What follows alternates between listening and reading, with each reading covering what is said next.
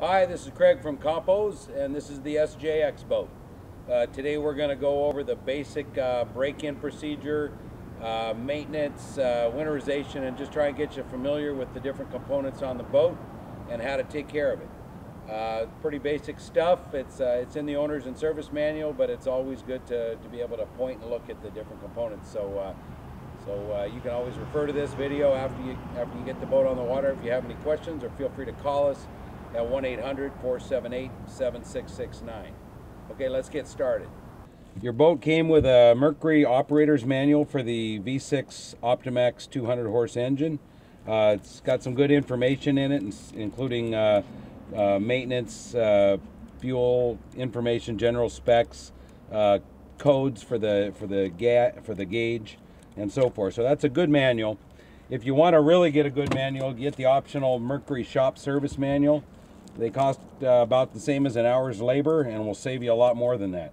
Um, there's some stuff you can't do, obviously, but there's a lot of stuff with, and it's got pictures and real good blow-by-blow -blow description of uh, how to how to work on the boat. So this is a good investment. It's about a hundred bucks, but it's a really good uh, investment in your boat. So I recommend you buy a Mercury service manual, and it's for the 200 Optimax jet jet drive.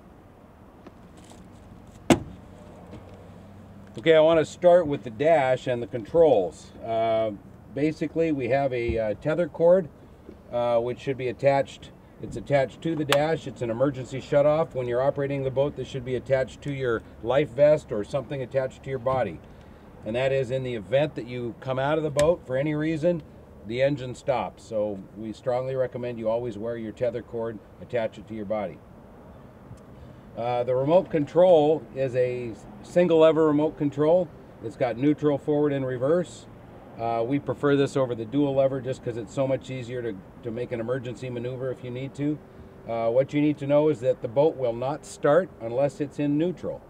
If it's out just a little bit, you'll see me try and start it. The horn comes on, but nothing happens. You have to be in the little neutral. It's a little detent area there, and then the boat will start. Um, sometimes if you're operating the boat, if you need to make a, if you need, if you're floating down a river and you need to start real quickly because you're approaching a shallow shelf or a sweeper, you can simply hold the key all the way over and move the control down until you hear it start. Uh, that's just a shortcut if you if you need to use it, but we recommend just putting it in neutral and then starting it.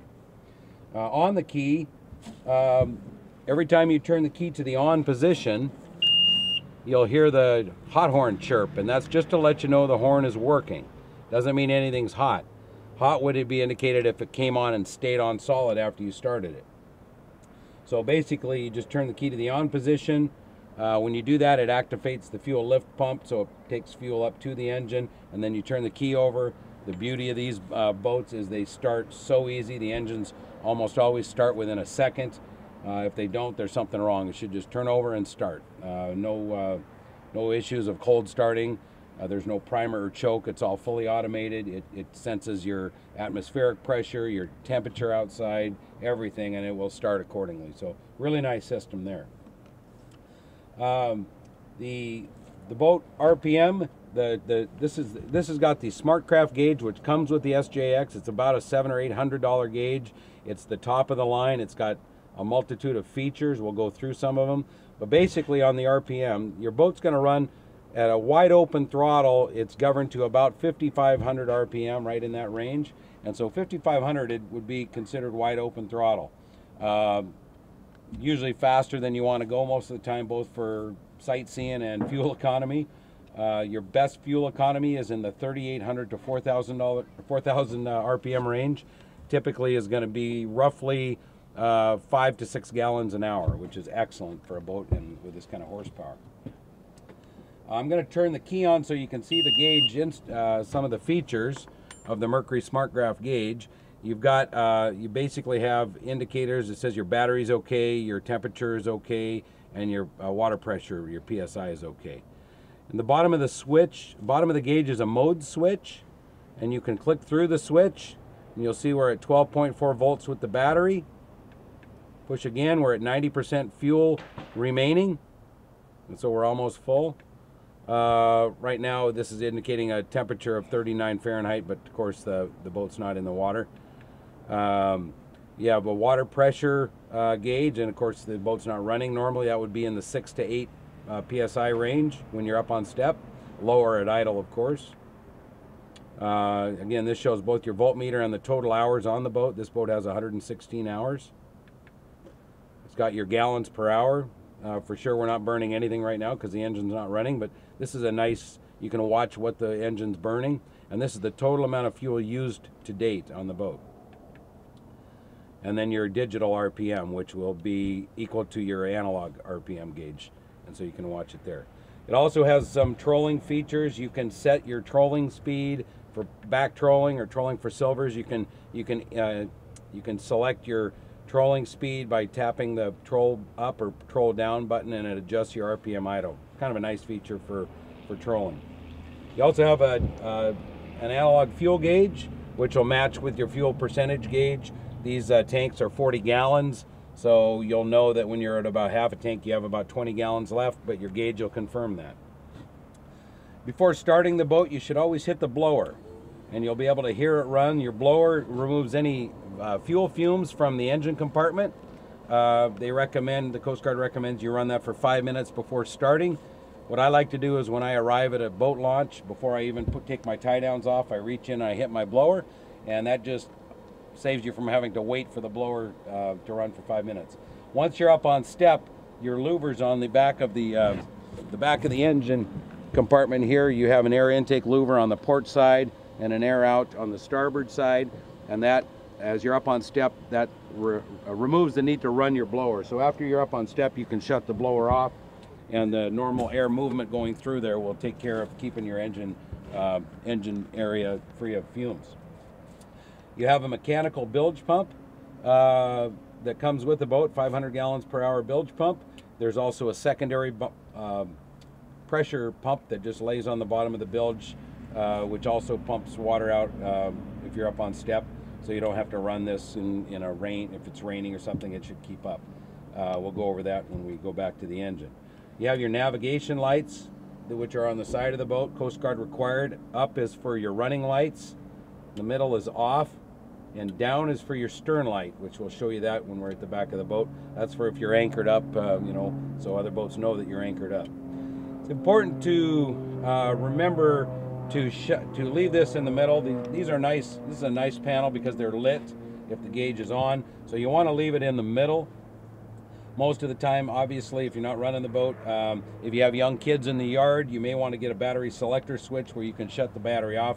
Otherwise, if they play with the switches and leave that on, you know, come Memorial Day, you're ready to go boating and the battery's dead because the lights have been on for a week. so leave that off. This is your optional wiper switch if you have a, a windshield wiper. There's an accessory switch if you want to run, uh, you know, running lights or uh, radios or anything. It's all rigged already for running lights. It has a 12 volt power point for charging your uh, cell phone, your camcorder, whatever. So that's uh, that's right behind the steering wheel there. And then it has a horn uh, just to let boats know you're approaching or emergency. You can you can flash your you can hit your horn button.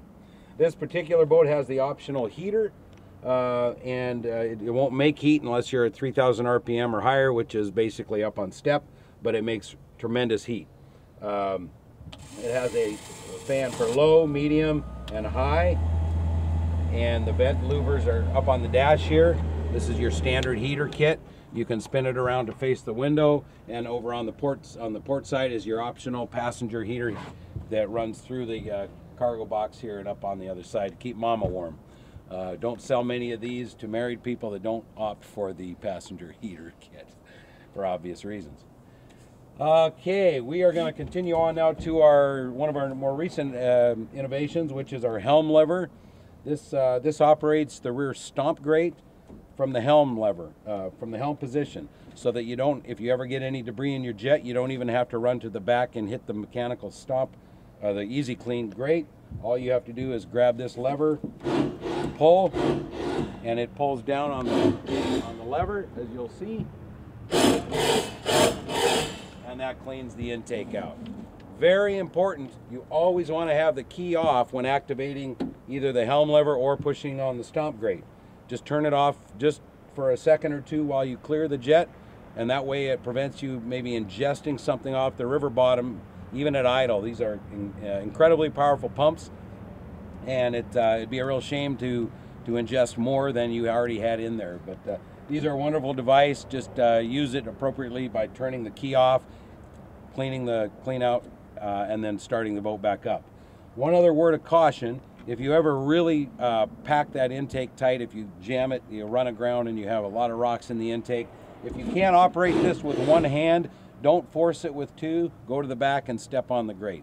You have a lot better leverage from your foot pushing down on the grate from the cable versus the cable pulling down from underneath. And you don't want to bend a cable or break it. So um, that is pretty much everything up on the dash. Uh, we'll, uh, we'll move on back to the uh, what powers the boat. Under here is your 40 gallon fuel tank. Uh, the boat burns a regular 87 octane. There is no reason at all to run high octane fuel because the engine is tuned for 87 octane. Um, and a 40 gallon tank gives you a tremendous amount of range, especially at cruise, which is about five or six gallons an hour. Uh, okay, the side compartments here are, are simply storage.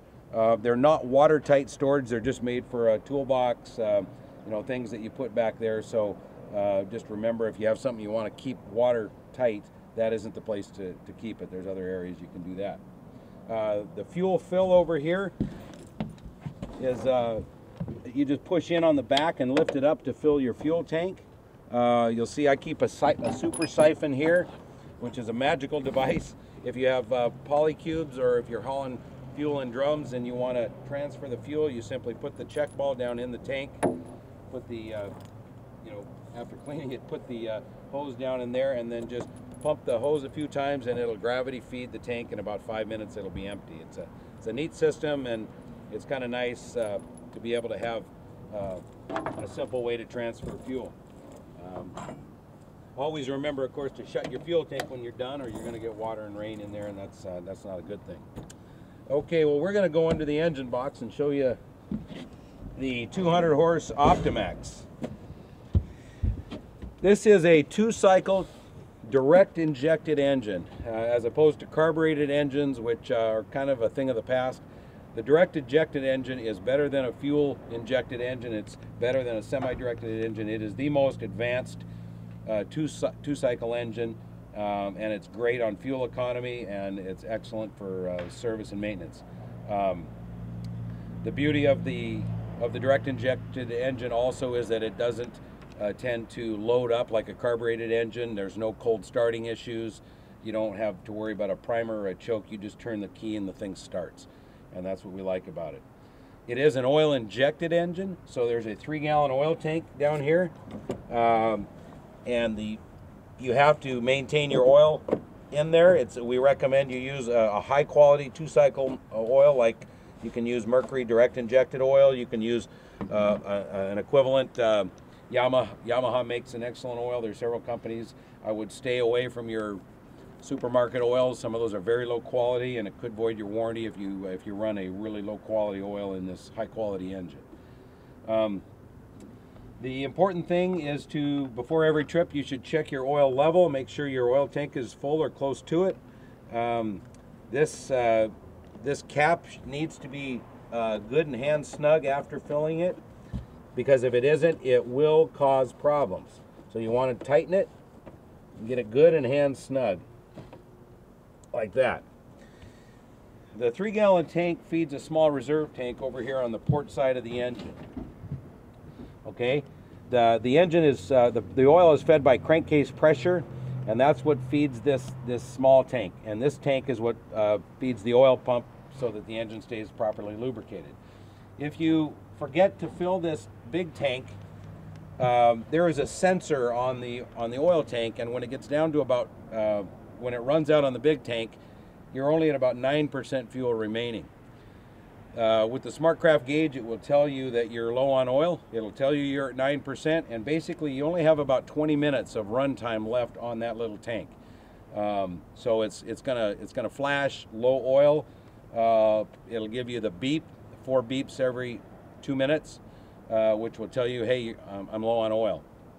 Uh, in the event you forget about oiling your big tank and you you start to run off the small tank, when you go to refill your big tank, you have to take the cap off the small tank and top it off all the way to the top. You can't have any air in this system, uh, or it'll it'll think it's low on oil. Um, and uh, when, when, when you when they figure out how to make an engine run without oil, uh, uh would be interested in that engine. I don't think they're going to do that, uh, but you got to keep oil in your engine to keep it keep it running. Um, so that's it on the oil. Just a good idea before every trip, just to check your oil level, top it off if you need. I always carry one gallon of oil with me at least as a backup in my storage box. Um, it's a good idea to get a small funnel so you don't make a big mess when you're when you're pouring your oil, uh, and um, and that should take care of, of that. Uh, the battery is a is a Group 24 high quality battery. Um, we use Interstate, but you can use any brand so long as you're at least 750 cold cranking amps. This one is 800. Um, and that's because of the direct injection engine requires a, a, uh, a high cold cranking amp battery. Uh, okay, we're going to move on. This boat has the optional, um, this has the optional um, sand trap. And basically, it's taking your in, incoming water and filtering it through a screen before it goes through the rest of the system. It's got a, it's easy, it swivels, it, you can unscrew this uh, bowl and dump it out. It, it is important to note that there is a there is a gasket in here so if you if you rinse it out in a river make sure to keep your fingers over that gasket or remove it first I recommend you carry an extra gasket in your toolkit because if you lose this gasket uh, it is going to spray water everywhere inside your bilge pump or inside your bilge area. So you want to rinse this out. We'll do that in a minute and then put it back on. Good idea at the end of the season. We'll go over winterization, but that's one of the things you want to drain at the end of the season. Real simple to do. Uh, this is your uh, engine lid. It's very, very seldom you'd have to get under this lid, but there is a bungee cord on the port side of the engine. You just disconnect it, kind of wiggle this straight up, and it exposes the flywheel, the alternator, your air handler system, and so forth. Again, there's no carburetors because it's a direct injected engine.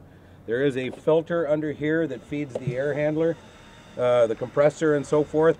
Uh, if you ever take it off and it's all black, that would be an indication you've, you've blown a, um, a hose or you had something that caused it. And this should be, they, they recommend you change these annually. It's an inexpensive filter and it pops right out. Not a bad idea. Uh, you have a water separator fuel filter coming out of the tank. There is a shutoff valve for transporting the boat if you're going a long distance or off season. If you want to shut the fuel system off, the fuel flow off, you can. This is in the open position. Uh, one thing about a direct injected engine is uh, is that it's very important to keep good fuel going to that engine. You don't want any water. Water is the enemy of any engine, especially a direct injected engine. Um, and it's easy to prevent. Mercury has um, a nice system of sensors and warnings if, if, if there's water that gets beyond the onboard filter, and we'll go over the fuel system now. Like I mentioned earlier, it's 87 octane, just pump unleaded is all your, it's required in the fuel in the fuel tank itself. The, the fuel will leave the tank. This is your fuel lift pump, and so when you turn the key, you'll hear this fuel lift pump tick. It kind of goes tick, tick, tick, tick, tick, tick and that's just pulling fuel up to the system to be ready to go into the, uh, the other fuel pumps. Uh, it's got a small inline filter here, also should be changed annually, just ahead of the lift pump. But basically, that's pulling fuel up through the filter, through the Racor filter, and up, getting it ready here to go on through the system when you start the engine. Um, on the bottom of the of the water separator filter is a bolt, a drain, and if you ever do get uh, a, note on your dash that you have water in the gas, or if you get the, the horn uh, going off, the beeping code that, that indicates water in the gas, you'd want to start by dra uh, draining your, your uh, the fuel out of the, out of the water separator filter, Racor filter. Uh, and I always carry a, a like a spray paint lid, something hard plastic that you can check it, you can pour it into and look at it and see if you have any water in there. Uh, but you have to get it out of this system if you do in, indeed ingest water into the tank or, or you left your cap open or for some reason you had water in the gas. Once it goes beyond this filter, it goes up into your lift, you know, lift pump, past the small inline filter, and then it's going to feed into your main onboard water separator filter. This is this is the black filter on your boat that has a small wire going to the bottom of it. You'll want to carry in your toolkit the the, the filter wrench like uh, like uh, you'd use for a, a small like a Japanese car filter, a small car filter. It's about the same size as an oil filter on a small car, and and and of course you slide you pull the you simply pull the pull the little plug off straight down. You wiggle it and it comes right off. That's your sensor, and then you put the filter wrench on it and spin the filter off. Um, the, the nice thing with this system is that it, it was designed where if water gets beyond your Racor filter, because they'll only hold so much, and it goes up into your main onboard filter, as water comes up that filter, there's a little sensor there that will indicate to the dash water in the gas. You may also get the code, uh, four beeps every two minutes. Now that's the same code as a low oil code, but you'll know it's one of those two. If you're not low on oil, then you've got water in your gas. And with the new SmartCraft gauge, it will tell you water in the gas or low oil. So uh, for some reason you didn't have that, that uh, you can opt not to get the SmartCraft gauge, which is standard now, and, and then you'd have to pay attention to those beep codes. Those codes are in the owner's manual, which you should always carry in your boat, and I recommend you put it in a Ziploc so that it doesn't get wet. Keep it in your toolkit so you can refer to it you know, if you need to. So that's pretty much the fuel system. There are there's a high and low pressure fuel pump uh, which um, don't demand any attention or, or, or, anything. They they take care of themselves pretty much. Um, but that's uh, that's pretty much the fuel system on the Optimax. Okay, next uh, we'll go to the other side of the engine. Basically, you just have your your alternator which charges your battery and and uh, your other components. Uh, you have your air handler and it has an alternator belt here. Um, lot of people ask me if they need to carry one. I've, I've never had to replace one, but um, there's a first time for everything. It's like a spare tire. You don't need it till you need it. They are available, uh, but very, very seldom we see a problem there. On the opposite side of the motor, uh, mostly your electronics, your starter motor, uh, your starter solenoid, your fuses, relays. Um, the electronic portion of this engine has been bulletproof. Um, the uh, the things you can check occasionally is make sure you have a good connection. Don't don't snap it. Don't get brutal, but check your solenoid, red solenoid wire because especially on a direct injected engine, if you have a loose cable or a loose ground, it can create running issues, and you'll track down everything else and then find out it was just a loose cable. So check that. You know, check your grounds occasionally. Just make sure your wires are not loose when you wiggle them with your hand, and that's really all you have to check occasionally. Um, there is a really nice Mercury diagnostic system we have in our service department, as most Merc dealers do. If there's an odd issue, a running issue, or something, uh, we have a, a, diagnostics that can point us usually right to the area of, concern. Uh, there are some fuses on the engine uh, for the fuel pump, the starter system, and so forth, and I recommend you carry um, just some extra, I think 5, 15, and 20 amp fuses, just one of each, just to carry them in your toolkit. They're the common double speed automotive style fuses. Uh, so you want to um, just carry some of those. Uh, this is your water flush kit. And this is if you run in salt water or if you ever ever overheat the engine and need to flush the passages, you just simply take this uh, nut off and you thread in your garden hose. Important, you turn the water on the garden hose on fully and let it run before you start the engine. You want to do it in that order so that there's water inside the system. One other important note on your water flusher is you you you don't want to run higher than an idle. You know, just uh, when you're if you come out of the salt water and you're going to flush the system, you can do it one of two ways. You can you can either run it on the garden hose as I described and just let it run for a few minutes, three or four minutes, just at an idle or a high idle is fine. Don't run high RPM. Uh, if you don't have access to a garden hose, uh, you should run it over to uh, a Clearwater lake or river, you know, shortly after getting out of uh, getting out of the salt water within a couple of three hours. If you can just back it in and run it for three or four minutes on the trailer, that's what you need to do. You're just flushing any corrosion salt out of there. The motor is equipped with stainless fasteners, zinc anodes on the jet, so it's as well protected for ocean use as possible, but salt water can be nasty, and uh, it's a good idea to flush it um, every time. Okay, we're pretty much done under the hood. Uh, other than uh, just showing you the, the mechanical bilge pump is this gray hose that lays down there.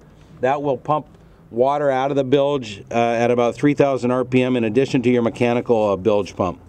Um, so, So this this is always going. It's either pumping air or water out of the bilge, whatever's in there.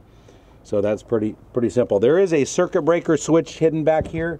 If you ever had a, a, a, situation that caused the circuit breaker to pop, you simply push it back down. It's hidden right underneath here, this plate. It's out of the way and it's very, very seldom an issue. Winterization. Okay, if you're in an area where it gets below freezing, you need to winterize your boat. The beauty of the Optimax is the engine completely self-drains.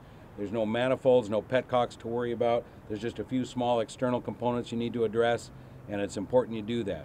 And we'll go over those right now. If you have a sand trap, you want to drain your drain the glass bowl on the sand trap, and then you can screw it back on snugly. Um, and and it's a good idea to just make sure that's empty. If it's not, if you leave it full of water and you free, freeze over the winter, it will crack this. And if you don't lift your engine and check in the spring, you're going to take off. You're going to fill the bilge with water, and the boat's going to get real heavy in the back after about 10 minutes. So you want to check that.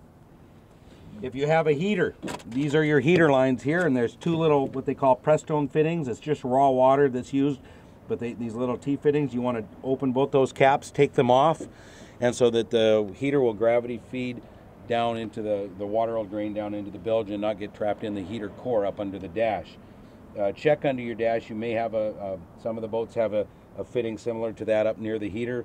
Uh, it's a good idea if you're near compressed air to go ahead and chase a little compressed air in one side till it runs out the other, just as an, an additional preventative. But we do try and use the heaters that are um, that won't trap water in the heater core. Uh, every once in a while you'll get one that does, so if you can chase some air through that, all the better. Those are two things as far as winterization. You should put, ideally, if you can, if you have uh, access to it, you can, you can uh, pick up um, storage fogging oil and and uh, put some storage fogging oil into the system. Uh, the instructions are on the can. It kind of coats everything inside the engine, and a fuel stabilizer in the gas tank. Uh, there's all kinds of good uh, fuel stabilizers. You can buy them at a, any good marine shop, uh, marine fuel stabilizer, or even at uh, a supermarket, as long as it's a good quality brand and a, and a good proven fuel stabilizer. There's also a product called Quickleen that Mercury makes. There's also similar versions made by Yamaha, Evinrude, and some of the others. And it is designed specifically to clean your injectors. It's a mixture you pour into your gas tank uh, occasionally. Just follow the instructions on there that's a good idea. Um, the only other real winterization point is uh, something that's a little harder to get to, but it's, uh, it's important. Uh, and it's over here on the starboard side of the engine. We'll, we'll take a look at it. Okay, one thing we've developed is a really slick uh, winterization plug on the base of the engine. We found that um, occasionally, if you run heavy silt, you could trap silt underneath the jet adapter plate where you really can't see it or get to it. Uh, it plugs the water, uh, it plugs a little water escape hole. It doesn't matter at all during the regular season, but if you do it uh, going into the winter and you don't know about it, that water has to go somewhere. If it's trapped in there from silt, it's got to go somewhere and it'll break a gasket. So we developed a, a neat little escape uh, access plug for every SJX boat so that condition will never happen. You'll never have to spend $400 and replace a base gasket so long as you take this little plug out at the end of the winter. It's installed prior to the boat uh, engine going into the boat at the factory. Uh, we got approval with Mercury and it's a really clever system and it just prevents that, that potential uh, problem from ever happening. I'm going to show you where it's at. So to locate the, the little um, winter drain uh, bolt, go to your, this is your bilge hose, your bilge pressure hose that runs off the engine and, and goes down, and runs off the jet and goes down to the bilge area. Almost right behind there on this engine base plate, right there, you will find your uh, little bolt that's threaded and goes into the engine adapter plate. All you have to do is put a wrench on there, a socket, and spin it out. I believe it's 9 16ths. And you take it out. It's about three quarters to an inch long, and it has a washer on it. Just remove that, and I recommend you put it in a Ziploc bag with any other uh, winterization items, for example, like your heater hose T-fittings, put them in a Ziploc and attach them to your steering wheel. That will remind you in the spring not to operate your boat until you put this plug back in there, right there. You can't see it, but I can feel it. Right there, and put that plug back in snug. Put your Prestone fittings back on your heater hoses. Double check your sand trap, make sure it isn't broken, and you are ready to go back in the water. So it's a simple system we've we've uh, we've incorporated the emergency uh, water exit uh, bolt, which is really handy, and uh, I think we're the only company that does that. But it does uh, prevent a lot of uh, headache down the road because that will happen to a boat that doesn't have it sooner or later if you live in a northern environment. Okay, next we're going to just talk briefly about the jet and uh, and what you need to pay attention to as far as maintenance on that end. Uh, the jet unit is pretty straightforward, low maintenance. This particular boat has our patented M-Jack fire nozzle uh, steering uh, steering nozzle, so you can couple it onto a fire hose and use it for putting out a fire or uh, or hosing down something. That's kind of a uh, it's called our M-Jack Marine Jet Adapter Kit. They normally are just a black standard nozzle. We have just modified it, and it's a patented product we designed. These in here are your reverse gate bushings. Uh, you should check them every 50 to 100 hours. If you operate in heavy silt, you'll get a lot of back and forth slop. I have very little now on this boat, uh, but those bushings are like $10. They're very inexpensive and easy to replace. Um, the jet stator has got an oil fitting that you can change the oil annually. It's real simple. The owner's manual shows you how to do that. Um, and then on the bottom of the boat, there's two plugs for your gearbox, um, the, the, where the where the the crankshaft turns 90 degrees to the drive shaft. There's a pinion gear and there's a, a, about a 24 ounce oil cavity. Very simple. You get under the boat, you chase oil in one side till it runs out the other, and you do that once a year, and that's all there is to it. Very, very, very simple, low maintenance jet unit. Uh, it isn't installed now, but if you uh, opt for the full canvas package, there is a little uh, service and maintenance requirements on canvas. Very simple. Uh, first of all, your canvas, when it's in the up position, is mounted in these uh, receivers here. Uh, when you're going, you know, when you have it up in the up position. When you roll it up and take it down, these thumb screws will move to the back storage position and the boom will lay at the very back of the boat and it lays in between the stomp grate and the engine box. As far as service on the and uh, keeping the canvas in good condition. I can't stress enough, if you just use uh, light soapy water once or twice, uh, maybe three or four times a year and just wash the side windows, keep the dust off them. Dust accumulating is what the sun's attracted to and that's what fades windows. So if you keep your side windows clean um, and just uh, use a garden hose and some light soapy water and clean them every once in a while, you'll, you'll have minimal problems. You're, you won't have that five to seven year fade on your side windows. Um, on the on the canvas snaps, if you just uh, every once in a while clean those out with the with water, and you can also uh, use a little chapstick. Chapstick works great to lubricate the snaps, and then your snaps go on and off easier, and they don't get tight.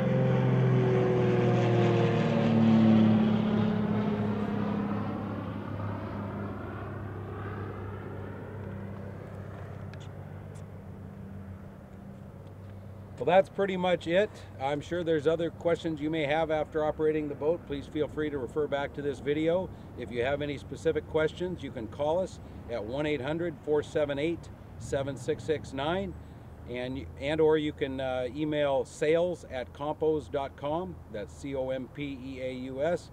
We're more than happy to help you. We like suggestions. If there's anything uh, that you put on your boat that you think would be a neat accessory for uh, an SJX, let us know. Some of our accessories came right from customer input. That's all for now. Enjoy your boat. I know you will. I enjoy mine. Have a good one.